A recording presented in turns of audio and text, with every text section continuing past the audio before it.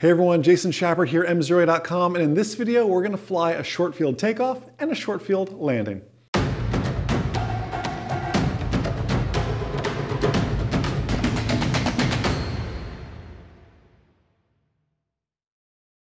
What is happening, MzeroA Nation? Jason Schappert here. So thankful you are here. Thanks for watching this video. Be sure to like and subscribe on YouTube, on Facebook. It means the absolute world to us. And don't stop with just this video. Don't forget about our entire online ground school, private, instrument, commercial, fundamentals of instructing. Take a trial at MzeroA Trial.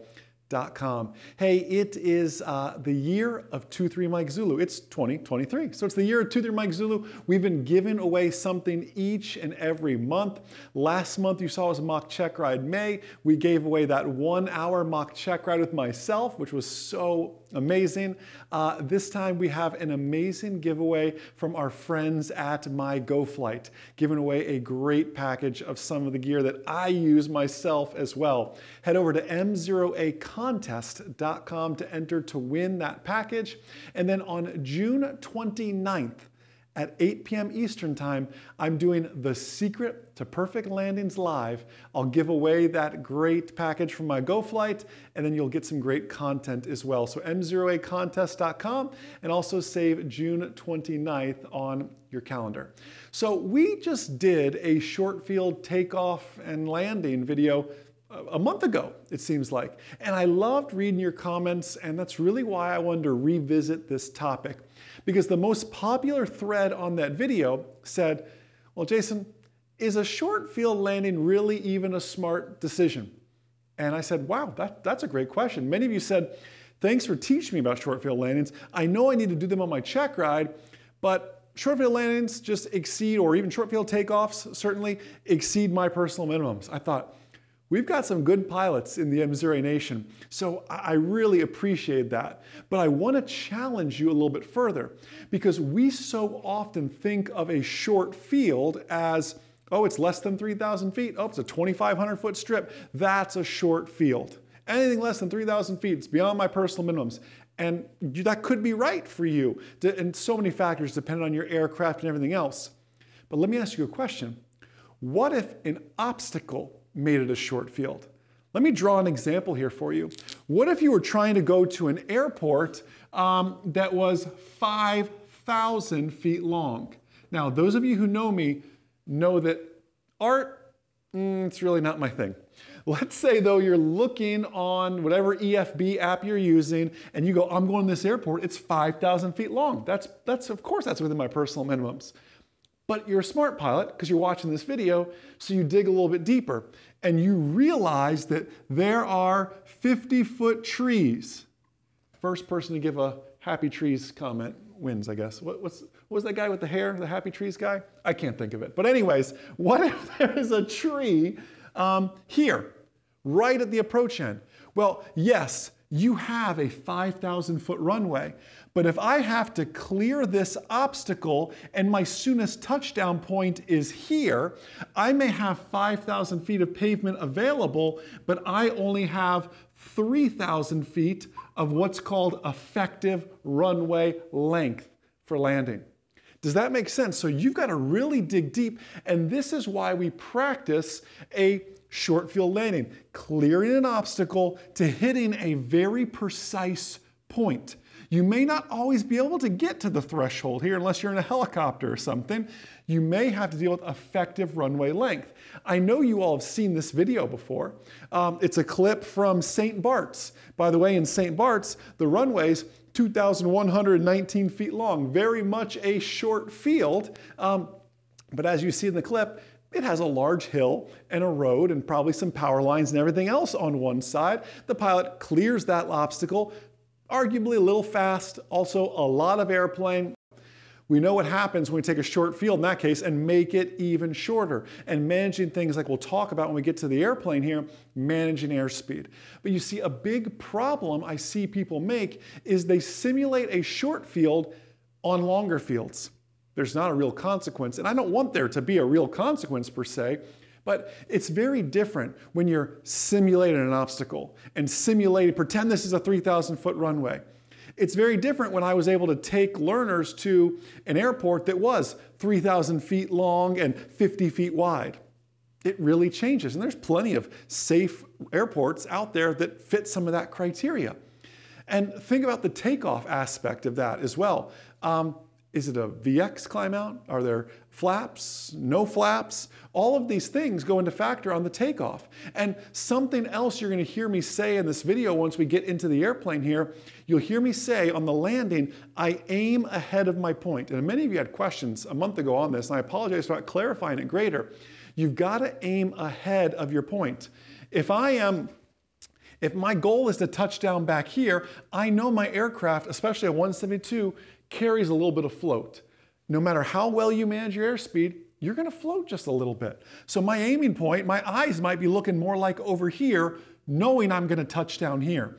For your private pilot, your commercial pilot check rides, it's the same thing. You wanna aim, depends on the airplane, about 100 feet actually before your point. And, and if this is, this is something we're gonna be talking about too on that June 29th live stream, The Secret to Perfect Landings. June 29th, 8 p.m. I really want to see you there.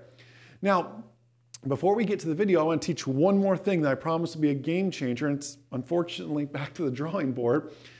But we know in private pilot, we're told to touch down 200 feet. We have a 200 foot window. It's actually, you know, minus zero. I can't touch down anything before my point for the ACS. And private pilots, 200 feet beyond that point. If we draw our runway, and let's just draw center line stripes here. Did you know a center line stripe is 120 feet long and the gap between it is 80 feet? So think about it this way. If I am aiming for the beginning of the first center line stripe, I have 120 plus 80 is 200 feet, private pilots. So I know I have from the beginning of the first centerline stripe to the beginning of the next centerline stripe, that is my 200 foot box to, to aim for for a check ride. Commercial pilots, you're limited to 100 feet. Well, it's tough to go, a centerline stripe is 120 feet, the gap is 80 feet. I make my commercial pilots land in the gap. But, uh, so from the beginning, uh, the start is the end of a centerline stripe to the beginning of the next.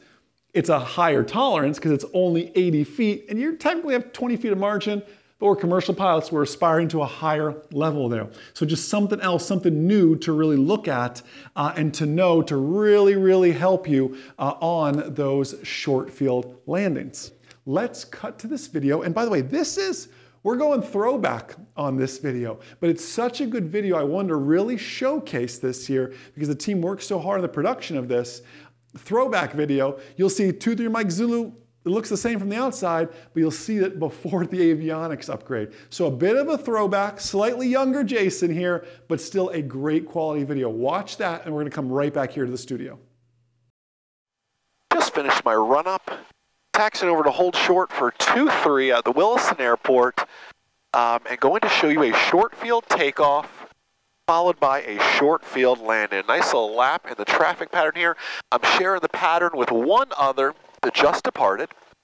I'm watching it for a bit here. I don't see anybody on final. I'm going to angle out that way still and look. Everything looks great. And when doing a short field takeoff, it's important to consult our POH where flap's supposed to be, all these little line items here. I'm going to go ahead and make a radio call, let them know we're departing and Williston traffic. 2-3 Mike Zulu's departing runway 2-3 for closed traffic at Williston. All right, coming across that hold short line. I like to use and I teach using every bit of runway. So we're going to come all the way over here, simulating this is a real short field. We're at a place like Cedar Key or somewhere that's real short. I'm going to use every bit of runway here. Crosswind for runway number 23, Williston. He's on crosswind come out after using every bit of runway, confirm 2-3, 2-3, 2-3. I see it outside, both inside. Smoothly applying full power here. Holding the brakes, engine gauges confirm green, green, and evenly off those brakes. Rolling here. We're going to rotate about five knots sooner, and we're going to climb out at VX. Here we go, rotating sooner. There's our speed. Up, up, up. Looking good, climbing out VX. Clear of our obstacle, let's say, as we pass through 50 feet and lowering that nose to a nice VY climb. And at this point, if you had flaps, according to your POH, flaps probably about 10 degrees, you'd be babying those flaps up and out. Continuing to depart out, I had a very aggressive climb here. I want to now that back to VY, make sure I maintain center line out, maybe taking a peek back, making sure everything is good there as I continue to fly out. And then we're going to come around and I'm going to put it right down on the numbers 2, 3, and I'm going to talk you through that process as well. Now this is going to be interesting here too because in a perfect world, I'd want to start my landing here you know, beam my touchdown point, carb heat power back, 10 degrees of flaps, but I've got traffic out here base. I've got the traffic. Now I've got to extend out and adjust my pattern a little bit Two, three at Williston. to this traffic here. Be straight out runway heading. I got one departing, I got one on base, and then by the way, Mr. and Miss Check Ride Examiner, you expect me to hit my point. See, things aren't always perfect, or as they seem, are they? I'm going to start a very, very slow descent, carb heat on, just bringing back another 100, 200 RPMs, because I really don't like to actually start my, my turn and my descent in until he's a beam me on final. So I always say a perfect landing starts with a perfect traffic pattern.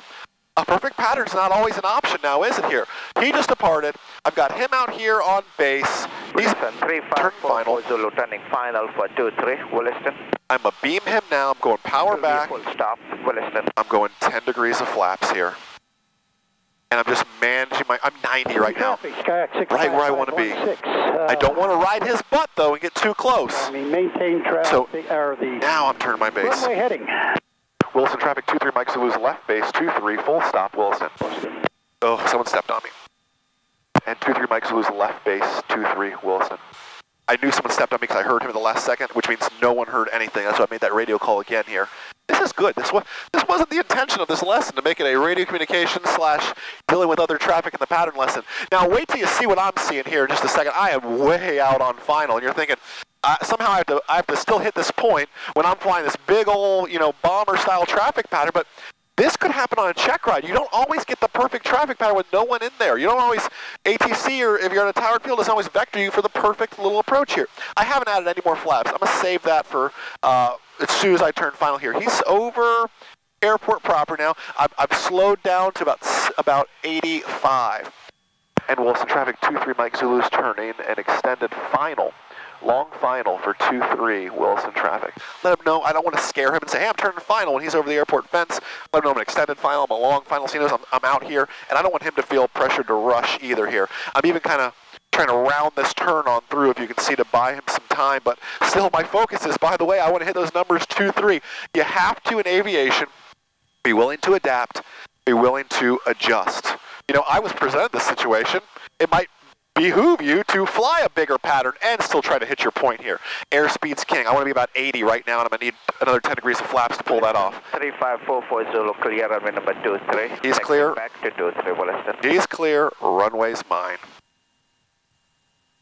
I'm looking. I'm slowing to 75. Everything's looking good. I'm putting, in this seat, I put the center line on my chest. In the, if you're sitting in the left seat, you're putting that center line on your right shoulder. Left seat, center line, right shoulder is going to help you a lot. Speed's really, really great. I'm holding 75 right here. I have 20 degrees of flaps, and I'm holding 75, right? That's, that's pretty, pretty good here. I'm going to get some more flaps in a little bit closer here. I don't like to make a lot of adjustments. I'm at full flaps now. Babying it on back. Coming in over airport property at 70 coming on in and know your numbers for your airplane, know your POH. I am aiming ahead of my touchdown point. I'm aiming about 100 feet in front of the numbers 2, 3. Basically, I'm aiming for the end of the runway here. I'm coming in. Everything's looking good, looking good. Hold it off. Don't touch down before your point. Hold it off, hold it off, hold it off. 2, 3, and put her down. Just like that. And short field, aerodynamic braking, right? Back on the yoke, apply the brakes. They don't like you fiddling around with a whole lot here, but if you have the time and the and the thought, you bring the flaps up as well. Now in retractable gear aircraft, they don't like you touching any switches down there, but in this, it's okay to reach down, grab those flaps. a, a bit of a throwback, but a cool throwback. Let's talk it through here real quick. Takeoff considerations, you heard me say, I use all available runway. Runway behind me does no good, right? What about your correct flap settings? It's different for every aircraft. You need to do and follow, the POH says use flaps, don't use flaps, hold the brakes, maximum RPM setting, then release. That's a typical procedure there, but do what's right for your aircraft because I have seen some that just say, hey, give me a, a smooth acceleration without brakes. I've seen that happen before right? Typically, you saw in this video, I'm applying back pressure, I'm rotating, I get to Vx, and I apply that elevator pressure to hold that airspeed until I'm clear of this fictitious 50-foot obstacle. Then it's to Vy. But when do you retract the gear? When do you bring up the flaps? These are questions to ask your POH, your Pilot's Operating Handbook. Then on landing, what we talk about? Well, you heard me say airspeed is king. We'll be talking about that on the June 29th uh, webinar a lot. But you have to realize you've got to use pitch to maintain airspeed and power to maintain altitude. I pitch for airspeed, I power for altitude to hold my glide path. When you understand that concept, I'm telling you, it'll be a game changer for your flying, your slow flight, for everything. But we've got to be stabilized. We're looking for no to minimal floating, even though he said most of these aircraft float. I want to also explain, because I'm sure you had a question, I was talking so much in that video, about my right shoulder being on the center line for someone sitting in the left seat. You need to see what center line. For me in the left seat, if I'm sitting left seat, I put that center line on my right shoulder. That's gonna work for most people, depending on how broad shouldered or narrow shouldered you may be. It may have to adjust for you as well. But you also saw I was focused about 100 feet ahead of that point as well. And the last thing, well, we apply that back elevator. If you're able to get those flaps out, now caveat here, some flight schools, some DPEs are not crazy about you touching anything on the ground. Many flight schools I've seen nowadays teach simulated aerodynamic braking. That's because there's been some NTSB reports in retractable gear aircraft where someone is rolling out, they think they're bringing up the flaps, and they're bringing up the gear. And a squat switch should prevent that, but it doesn't always work, and they gear up the plane on the rollout, as ridiculous as that sound, but you can find the NTSB reports that show it. So some place, some schools just say, pretend you're bringing up the flaps. Just tell me you know how to do that. Um, but in the real life scenario, I bring up those flaps because that gets weight back on the main wheels. It's called aerodynamic braking, and your brakes are more effective when you get more weight on them as well. So listen, I know this is a longer video, but I hope you really enjoyed it. I hope you didn't mind my art as well. I hope that was okay. Again, to win that MyGoFlight uh, package uh, that's uh, there on your screen for you, mzeroacontest.com. That winner will be announced on June 29th. I'm doing a classic presentation we've done in the past called The Secret to Perfect Landings. I'll be live at 8 p.m. Eastern. You won't want to miss that. Have a blessed, abundant, outstanding rest of your day. And most importantly, remember, the good pilot is always learning. Have a great day, everybody. See ya.